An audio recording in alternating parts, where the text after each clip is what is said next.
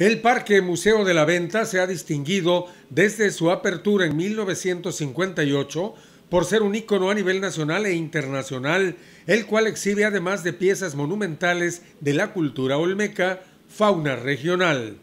El negro es un jaguar melánico que vive en el Parque Museo y a pesar de su edad se encuentra en buen estado de salud, con las condicionantes de un organismo geriátrico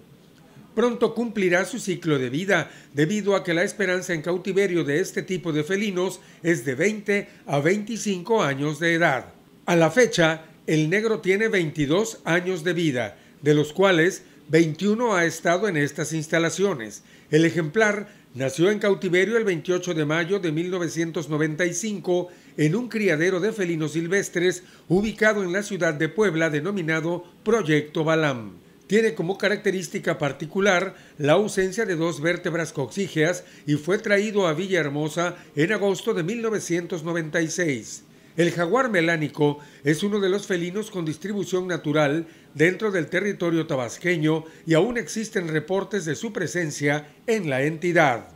Las humas y zoológicos son el principal motor de conservación y reproducción del felino, esta especie se encuentra en peligro de extinción debido a la reducción de espacios naturales de hábitat y por la caza furtiva para el uso de pieles y por ser una amenaza para el ganado. Noticias TVT.